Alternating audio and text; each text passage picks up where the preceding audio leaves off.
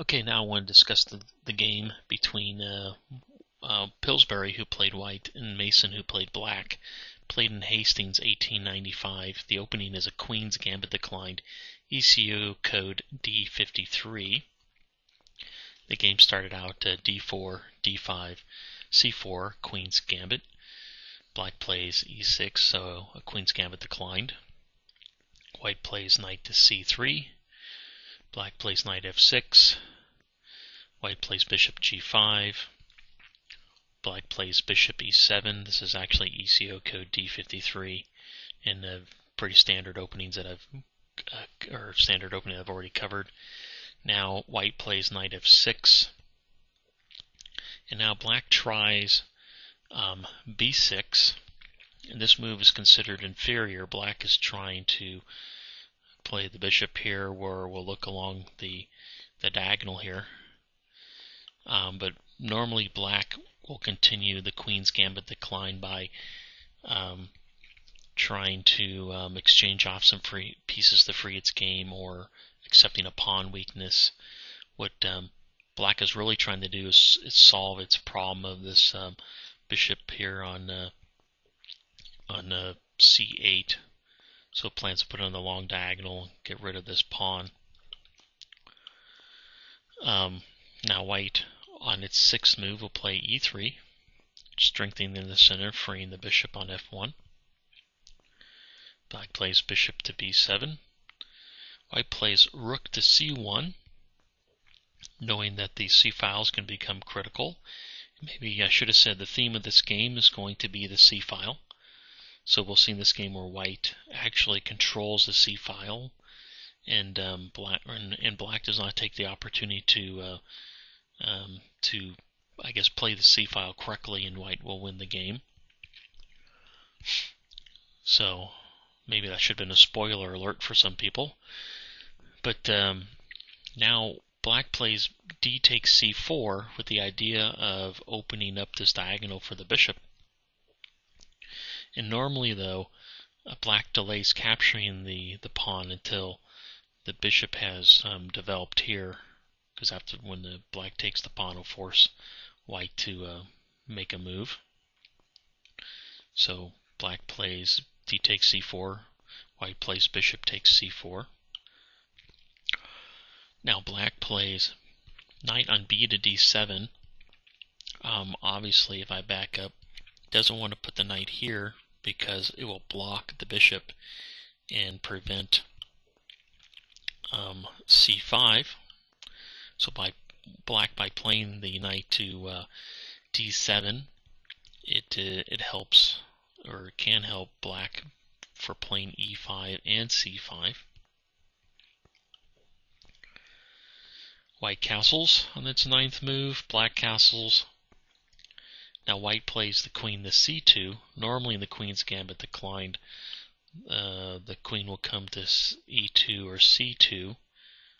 From c2, the um, the queen looks along this file and looks um, sort of along here, and especially the square e4. By playing the queen to e2, though, um, um, the queen does support um, the the push e4 and uh, controls this diagonal much you know much greater. So um, and also if uh, white would have played the queen to c2, black would have probably played bishop takes f3, disrupting the pawn structure on the king.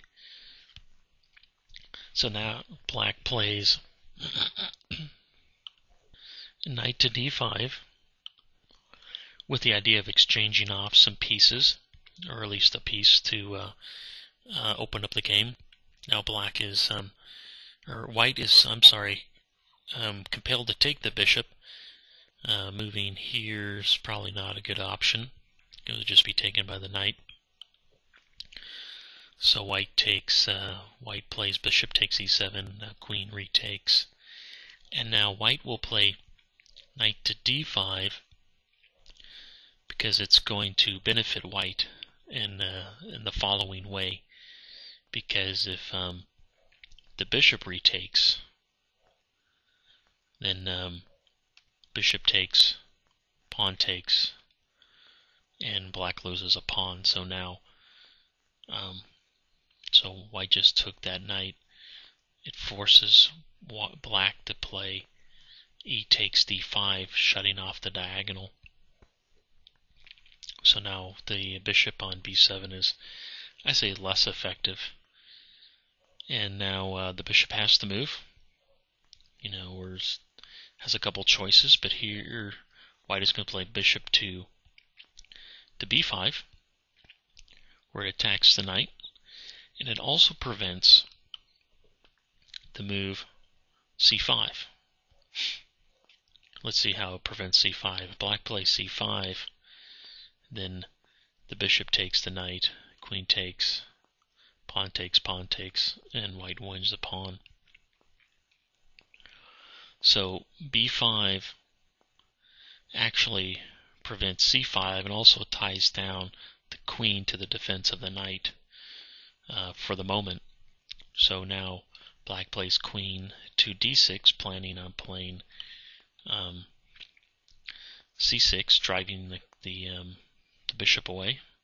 White plays uh, rook to c2. White plans on doubling the rooks at some point. Now black plays c6, forcing the knight to move, uh, the, the bishop to move. The bishop comes back to d3. And now um, uh, this was probably one of the last opportunities for black to get in this move, c5. It really has delayed it, you know, or a couple moves. Um, well, sometimes it couldn't make the move, and sometimes it could, but it didn't. So this is one of the last times, or the last time that black can probably get in the move c5, but does not. Instead, black plays knight to, knight to f6, sort of trying to carry out its plans of attacking the white king.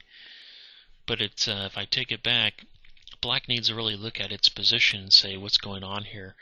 Um, you know, if uh, if the target here is this pawn, then I gotta, then black has to ask itself, well, can I defend this pawn?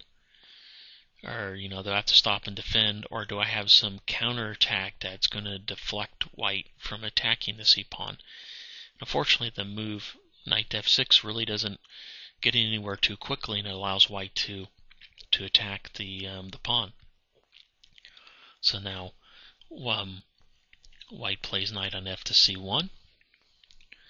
So now black's going to have to come to defend the pawn because now it's too late.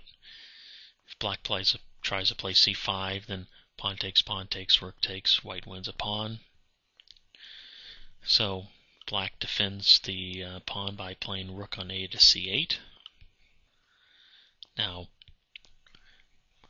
white is going to saying, okay, the target here is the c pawn, and who are the defenders? Well, it's the bishop, the rook, and the queen.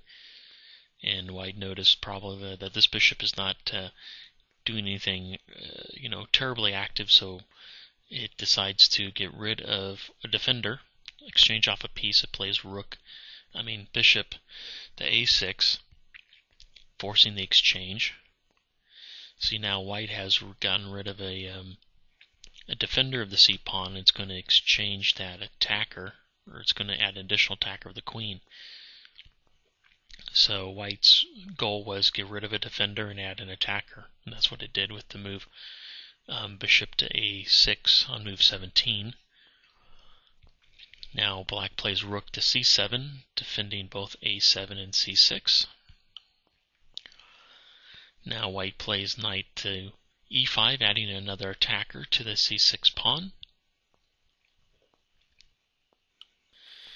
And now what move is black to make?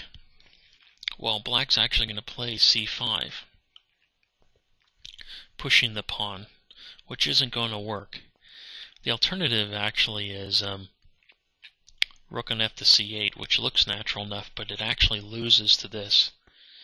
The knight can just take the pawn, because if um, black re if black takes the rook or if black takes the knight, then the following sequence: queen takes check, you know, recapture, check, queen comes back, check, king, rook comes down, and white's going to win the game. Because these pawns over here on this side of the board are going to fall to, uh, you know, obviously the um, pawn on a7 is already under attack, so rook comes over, e, you know, and that pawn's just going to fall, so that doesn't work.